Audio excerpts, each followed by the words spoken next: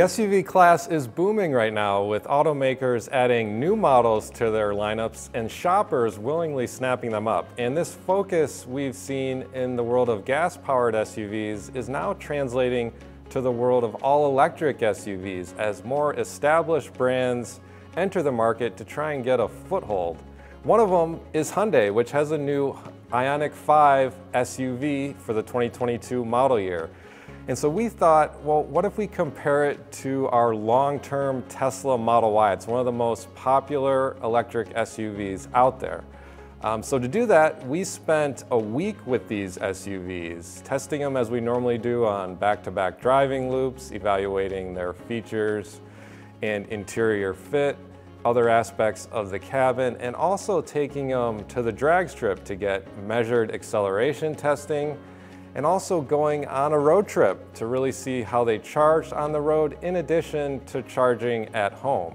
But before we take a look at what we liked and didn't like about these SUVs, let's take a closer look at the specific versions we tested. So we've really considered the Model Y the, the standard for EV SUVs. We bought one last year and we even named it our best EV of 2022. And the car that we bought last year was a 2021 Tesla Model Y long range all-wheel drive with 326 miles of EPA rated range. The Model Y is now $12,000 more than when we bought it because of price hikes over the past year. So if you bought our car now, it would actually be $72,000. Whereas the Ioniq 5 is just a little over $57,000. Our car has the optional third row, the tow package. Uh, we stuck with the standard 19-inch wheels, and ours has the optional uh, blue paint. And the Ioniq 5 we tested was a top-of-the-line limited trim level with all-wheel drive and an EPA estimated driving range of 256 miles. And it also comes with a number of upscale features like heated and ventilated front seats, a panoramic glass roof, and a dual 12.3 inch screens on the dashboard. And the price of this model is $56,000, but ours was a little higher because it had a few options, $1,000 for a matte finish paint, and around $200 for carpeted floor mats, which brought the as-tested price to a little over $57,000. But that's before any tax credits that a buyer might be eligible for are factored in. So Joe, one of the biggest differences we saw between these two was in terms of their acceleration performance. Yeah, and you know, we had some inclination that that would be the way it was by just driving them on the street, but once we got them on the track with our measure testing equipment, we actually found that 0 to 60 mile an hour uh, for both of these almost exactly the same. You're looking at 4.7 seconds, and that was a lot faster than Hyundai said this could go. So we, I was really surprised to see 4.7 seconds, 0 to 60. And the Model Y was exactly the same. So the difference though was where we ran it out past 60 miles an hour. So in quarter mile testing, the Tesla ran 12.7 and the Ioniq 5 ran 13.1. What really tells you that the Model Y is making more power though is in its mile an hour speed at the end of the quarter mile. It was 10 miles an hour faster than the Ioniq 5. So we had more mixed feelings though on which SUV offered the better braking experience. Yeah, so it really came down to the regenerative braking modes and how each car lets you access those. And um, I really preferred the Tesla in, in this case because I can enter the regenerative mode that I like, which was hold mode and the one pedal driving, which uh, Tesla says is um, the mode that will preserve the most range. And I, I liked how I can just enter that mode in the touchscreen and then it just stays in that mode and I can drive the car one pedal driving, which I really like. More than just preserving range, but I like the control that I have and how smoothly I can drive with one pedal driving. I very rarely find myself uh, using the, the brake pedal in this car, except when I really need to slow down uh, quickly. Mm -hmm.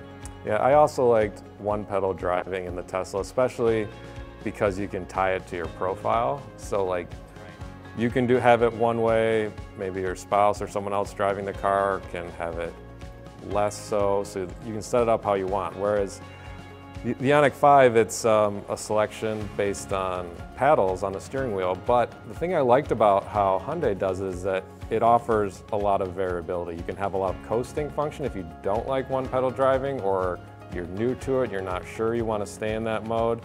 And then you can work your way up to it. You can raise it so there's more regenerative force all the way to choosing a one pedal driving setup. The one thing though is that we found it didn't stay in one pedal driving when you restarted, so that was something you always had to reselect and we didn't really understand why that was set up that way. So another area where these SUVs we thought were pretty different was in terms of their ride quality. And that was really borne out in the scores from our driving loops in them. The Tesla Model Y had half the points that the Ioniq 5 earned. And that even with having a smaller wheel setup than the Ioniq 5. The Model Y has our 19-inch wheels and tires, while the Ioniq 5 has 20-inch wheels. Ride quality, breaking it down, you have ride firmness and, and ride quality, right? So the firmness of the Model Y is undeniably stiffer. It is sprung like a sports car, you know, and you feel that. And you also hear it in the way that the tires impact the road. There's so much tire impact noise and harshness. I think overall quality though, like when you do hit a bump, it feels good. Like it, the car's not sloppy. You're not feeling the wheels and the suspension and flex and everything feels solid. But when we're talking firmness, it is night and day difference driving these two cars.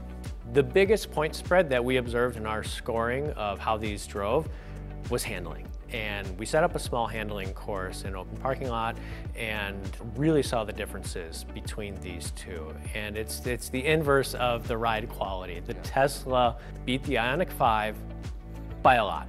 It really wasn't even close. And on that course, you, the, the, the Model Y really does have sports car-like handling sports car-like. You know, it's still, it's an SUV, it's heavy, there's weight to it, but the sharpness and how it steers and how flat um, on that course, the Ioniq 5 was just kind of a mess. It was kind of sloppy all over the place, door handles dragging on the ground. Like there was so much body motion and those tires just were not happy the entire way. So not that it makes any promises of being a sports car, but if you do want an engaging driving experience, I didn't get that behind the Ioniq 5 at all. Yeah, and I think that experience translates to the street. You can feel it in the steering, just how responsive it is. Like even like minor steering corrections in the wheel, like you're feeling that right away in the front tires. Like it's it's moving um, with your steering inputs right away. But at the same time, it doesn't feel overly twitchy when you're at highway speeds. So they've got that figured out. So it's it's the right tuning at both low and high speeds. Um, and yeah, and like you were saying, like if you're willing to put up with the ride quality or live in a place where you know the roads are mostly smooth, you get this great benefit in terms of the handling from the Model Y. We think home charging is a must for successful EV ownership, uh, specifically level two charging. And the Model Y has always been one of those cars, uh, well, we awarded because it does home charging so well. So did we see an advantage here versus the Ioniq 5? Yeah, we did see a pretty big advantage with the Model Y in our home charging test. Uh, we used a Wallbox Pulsar Plus 48 amp um, EVSE on a 60 amp dedicated circuit. And we started the vehicles at a similar state of charge and charged them for an hour. And the results were um, pretty different. The Model Y added 46 miles of range uh, during the hour, whereas the Ioniq 5 added 38 miles, and they used similar amounts of energy. The Ioniq 5 added 11.3 kilowatt hours in that hour, and the Model Y added 11.5 kilowatt hours. So there's a real advantage there with the Model Y that you're using the same amount of energy in a given time, but you're getting more miles of range in that time so you can drive farther once you unplug. But how did it look when we did our fast charging with these cars? Yeah, so the fast charging test, we had um, the availability of a 250 kilowatt supercharger, which is the faster supercharger at the moment. And we also had a 350 kilowatt Electrify America DC fast charger within 10 minutes of each other. So same day, same range, same state of charge. We took them to the fast charger to see which one would charge faster from 18 to 80%. So both cars added around 160 miles of range. It took 28 minutes to do that in the Model Y, and it took 18 minutes to do that in the Ioniq 5. And so, you know, what we judged the score was based on miles of range added per minute, and it was um, eight and a half miles of range per minute on the Ioniq 5 and about six for the Model Y. So a little disappointing, but the other consideration here is in the Chicago area, which is being generous because Rockford is 90 miles west of Chicago, there are only two of these 350 kilowatt chargers um, that we used for the Ioniq 5 test. There are many more Tesla 250 kilowatt chargers uh, in our area. So we also saw how these vehicles take a different approach with vehicle user interface. Um, with the Tesla, everything's centralized in that touchscreen. And while I thought the screen interface is pretty well done overall, at least in the current iteration, we've experienced continuous soft software updates during our ownership that's modified some elements of the experience. But right now, um, it's I found it pretty easy to get useful for the most part, though I, Tesla, they've taken a few steps backwards in my view in terms of consolidating some features that are really easier to use with a physical control. One thing I noticed, we were doing some of the driving loops in the rain and the automatic windshield wipers were not activating for me, so I kept fumbling for the mist button on the end of the turn signal stalk when I really would have liked to just easily set the wiper how I wanted. Um, and I also, I got used to having a lot of the, a lot of the information that would normally be in an instrument panel um, right in front of you on that left side of the screen.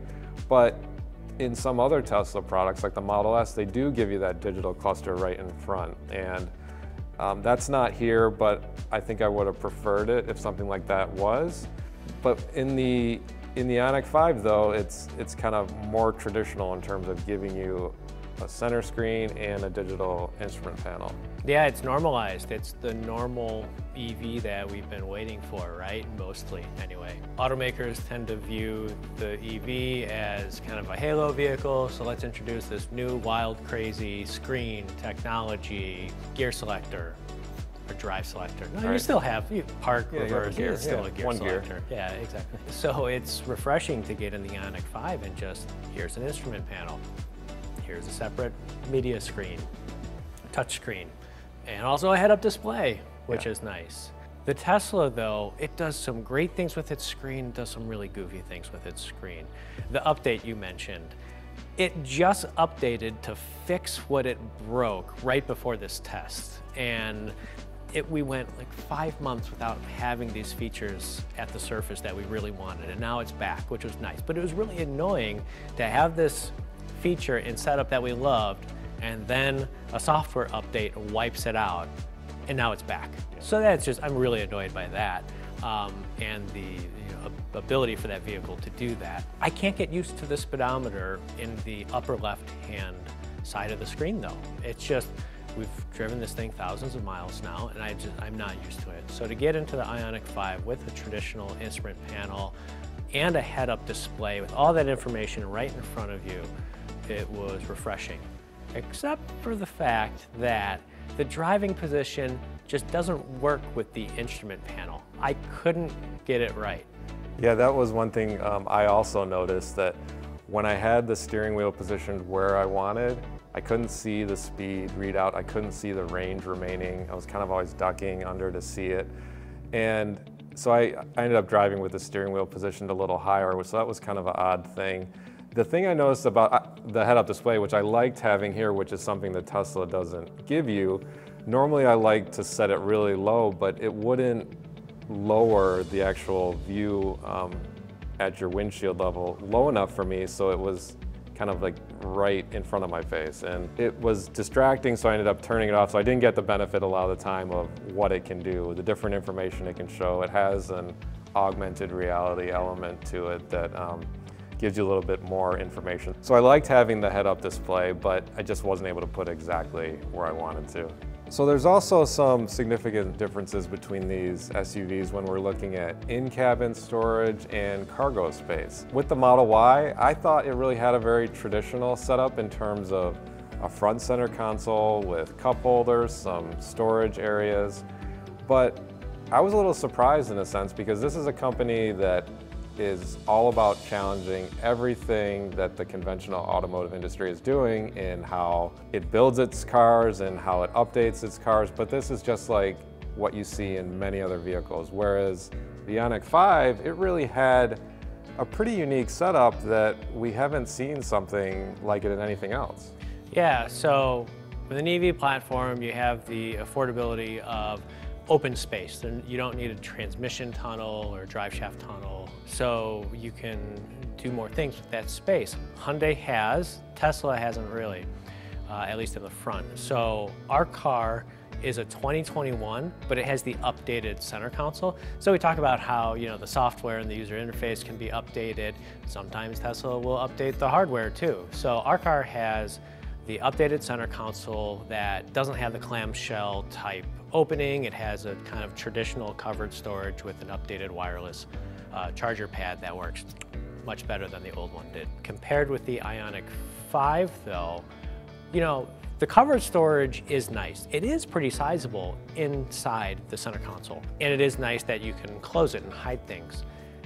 The Ioniq 5, it's an open space and it just makes the interior feel so much larger. Like it feels like a class larger vehicle uh, when you're sitting in the front. And in our car, uh, the top trim level, the position of the entire center, center console can move too. So you can move back, forward to give you more space for, um, well, for me, it's generally a diaper bag that I'm carrying with with the kids, uh, but a backpack or purse or something too that you can put up there. So when looking at the cargo numbers of these SUVs um, behind the second row and with the Tesla Model Y's third row folded, they were pretty similar in terms of measured space using our own measuring technique so we can have comparability across these vehicles. But there's a pretty big difference in the front trunks and how sizable they are. The Model Y is, is big, it's nearly three cubic feet, whereas the Ioniq 5 has about a half cubic foot bin that I don't know if I'd want to put anything of real value in it because it's, it's tucked um, just under the hood, but it's, it's not set off from everything else that's underneath a hood of a vehicle. Like it's right next to the reservoirs for like various fluids, whereas the Model Y, you don't see any of that stuff. It's all closed off. You just have a nice sizable bin. And I found the usability of the, the frunk in the Model Y to be usable in everyday life. Like you, you can actually put stuff in there, like a, a, a suitcase. Uh, in the Ioniq 5, maybe a wallet. So these SUVs had pretty different exterior styling and that affects their visibility. Yeah, the Model Y uh, is not known for its great visibility out the back. It's decent when looking forward, but it's natural visibility. When you're looking in the rearview mirror, you're looking uh, over your shoulder. The aggressively sloped rear roof line and the small hatch window don't give you a lot of visibility out the back.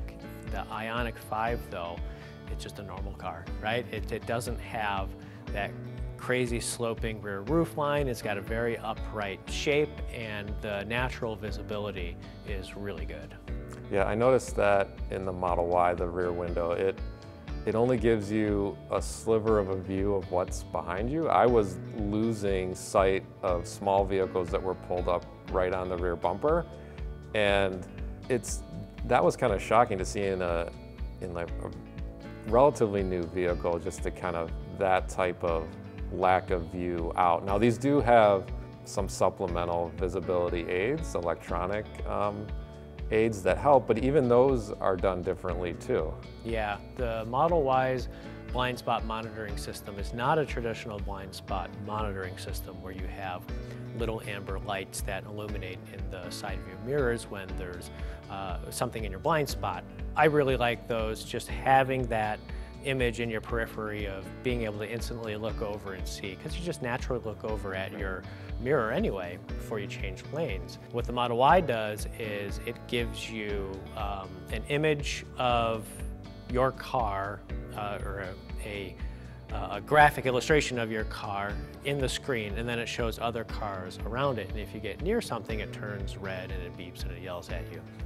There's also uh, a feature that was added late last year with the system update where there's a blind spot camera image. So you turn on your turn signal and in the corresponding turn signal, that camera shows its image in the main touchscreen, but it's low in the touchscreen. And it's actually a feature that we saw first on Hyundai vehicles, the blind spot camera, and it's done better in the Hyundai and the Hyundai has a traditional blind spot monitoring system that will show you there's a car in your blind spot in the mirrors as well as the head-up display, which is a nice touch. And when you use turn signals, you see the image from the camera in the mirrors showing you uh, an image of what's in your blind spot.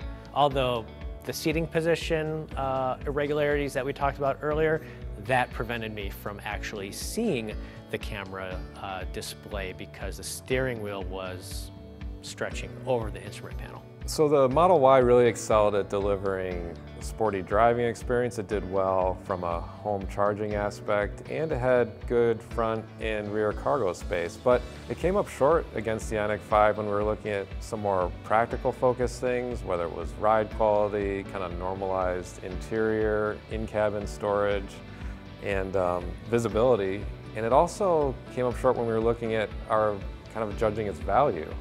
If you buy the Model Y now, it's $72,440 and the Ioniq 5 is around $57,000. Where I expected the Model Y to do better in our testing, it didn't really. Looking at range and efficiency, the Model Y has an advantage on paper, but in our testing, it just didn't play out that way. It was the most efficient in our driving loop, and uh, it did have more predicted range. It was also the closest as far as range predictions.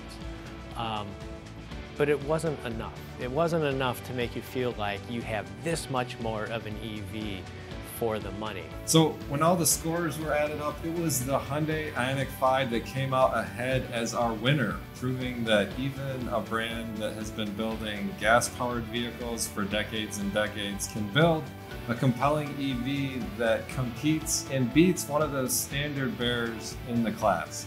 So we know that different things matter to different buyers when choosing an EV. So if you want to read all the scores that went into determining our winner, check out the full article here at cars.com/news.